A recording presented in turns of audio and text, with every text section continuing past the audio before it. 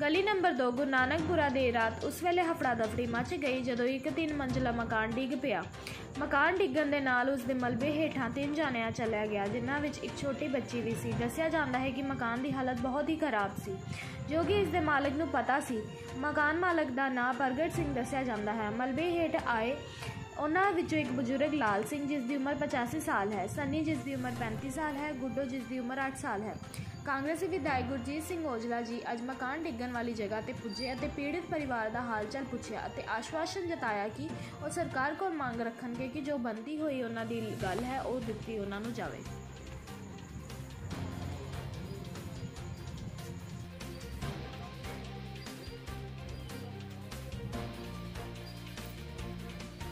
ਪੰਜ ਪੀ ਤੂੰ ਅਤੇ ਰਾਤੀ ਸੁੱਤੇ ਹੋਣੇ ਬਸ ਸੁੱਤੇ ਲੈ ਗਏ। ਕਿੰਨੇ ਜੀ ਸੀ ਉਸ ਵੇਲੇ ਅੰਦਰ ਕਿੱਥੇ? ਉਸ ਮਕਾਨ 'ਚ। ਅਸੀਂ ਉੱਪਰ ਵੀ ਆਏ ਕਿਰਾਏਦਾਰ। ਅੱਛਾ ਜੀ। ਤਿੰਨ ਕਿਰਾਏਦਾਰ ਰਹਿੰਦੇ ਉੱਪਰ ਤੇ ਇੱਕ ਅਸੀਂ ਥੱਲੇ ਰਹਿੰਦੇ। ਉਹ ਮਕਾਨ 'ਚ ਸਾਰੇ ਕਿਰਾਏਦਾਰ ਹੀ ਰਹਿੰਦੇ? ਆ ਸਾਰੇ ਕਿਰਾਏਦਾਰ ਇੱਕ ਨੇ ਤੇ ਮਾਲਕ ਕਿੱਥੇ ਰਹਿੰਦੇ ਨੇ ਆਪ? ਮਾਲਕ ਅਹ, ਪ੍ਰਗਟ ਔਰ ਪ੍ਰਗਟ ਨੇ? ਹਾਂ।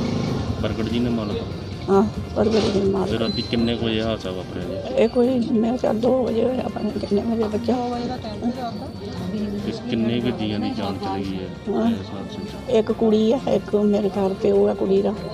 ਅਜੇ ਹੋਰ ਪਤਾ ਨਹੀਂ ਪਤਾ ਨਹੀਂ ਲੱਗਦਾ ਪਿਆ। ਇੱਕ ਸਾਡੇ ਮੇਰੇ ਘਰ ਵਾਲਾ। ਤੁਹਾਡੇ ਘਰ ਵਾਲਾ ਜੀ? ਹਾਂਜੀ ਹਾਂ। ਤੁਸੀਂ ਤੁਹਾਡੇ ਘਰ ਵਾਲਾ ਜੀ ਕੰਮ ਕਰਦੇ ਸੀ ਕਿ ਘਰੇ ਹੀ ਰਹਿੰਦੇ ਸੀ? ਨਹੀਂ ਘਰ ਹੀ ਰਹਿੰਦੇ ਕੀ ਕੰਮ ਕਰਨੇ ਬੁੱਢਾ ਹੀ ਬਜ਼ੁਰਗ ਤੇ ਬੱਚਾ।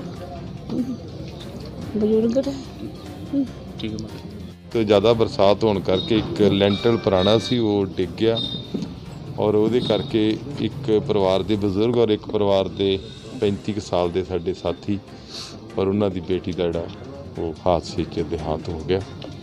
ਬੜੇ ਦੁੱਖ ਦੀ ਗੱਲ ਹੈ ਔਰ ਬਹੁਤ ਮੁਸ਼ਕਲ ਦੀ ਘੜੀ ਆ ਪਰਿਵਾਰ ਦੇ ਉੱਤੇ। ਸੋ ਉਹਨਾਂ ਦੇ ਨਾਲ ਦੁੱਖ ਜ਼ਾਹਰ ਕੀਤਾ ਹੈ ਔਰ ਪ੍ਰਮਾਤਮਾ ਅੱਗੇ ਹੀ ਅਰਦਾਸ ਕਰਦੇ ਹਾਂ ਕਿ ਉਹ ਪ੍ਰਮਾਤਮਾ ਉਹਨਾਂ ਨੂੰ ਚਰਨਾਂ 'ਚ ਢੂਹੀ ਬਖਸ਼ੇ। ਬੜਾ ਦੁੱਖ ਦਾ ਮੰਜ਼ਰ ਹੈ।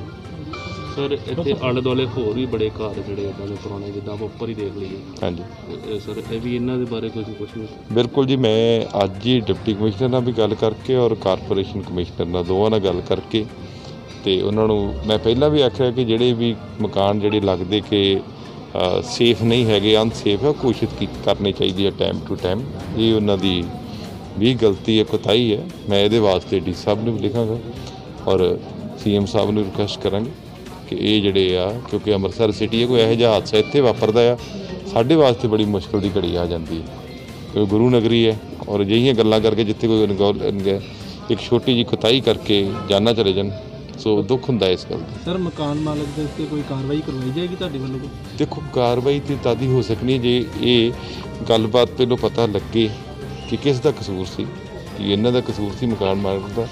ਜਿਹਦਾ ਵੀ ਹੋਏਗਾ ਬਕਾਇਦਾ ਸੰਬੰਧਿਤ ਉੱਤੇ ਕਾਰਵਾਈ ਹੋਏਗੀ। ਜਿੱਦਾਂ ਕਿ ਪੁਰਾਣੀ ਬਿਲਡਿੰਗ ਹੈ ਤੇ ਪੁਰਾਣੀ ਬਿਲਡਿੰਗ 'ਚ ਕਿਰਾਏ ਤੇ ਦੇਖੋ ਪਹਿਲੀ ਗੱਲ ਸਭ ਤੋਂ ਵੱਡੀ ਤੇ ਗੱਲ ਇਹ ਹੈ ਕਿ ਜਿਹੜੇ ਅਧਿਕਾਰੀ ਨੇ ਉਹਨਾਂ ਦਾ ਫਰਜ਼ ਬਣਦਾ ਹੈ ਅਨਸੇਫ ਘੋਸ਼ਿਤ ਕਰਨੇ।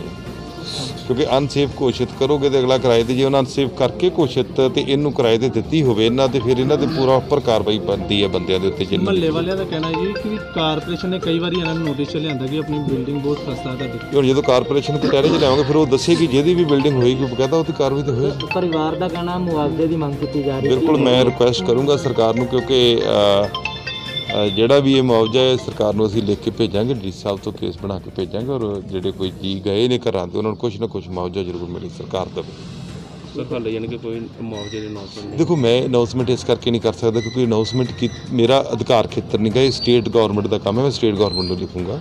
ਸਟੇਟ ਗਵਰਨਮੈਂਟ ਜਿਹੜੇ ਉਹ ਉਹਦੇ ਬਾਰੇ ਜਿਹੜਾ ਇਹ ਵੀ ਅਨਾਉਂਸ ਕਰਨਗੇ ਐਮਐਲਏ ਸਾਹਿਬ ਕਿਉਂਕਿ ਉਹ ਅੱਜ ਸੈਸ਼ਨ ਹੋਣ ਕਰਕੇ ਸਾਰੇ ਉੱਥੇ ਨੇ।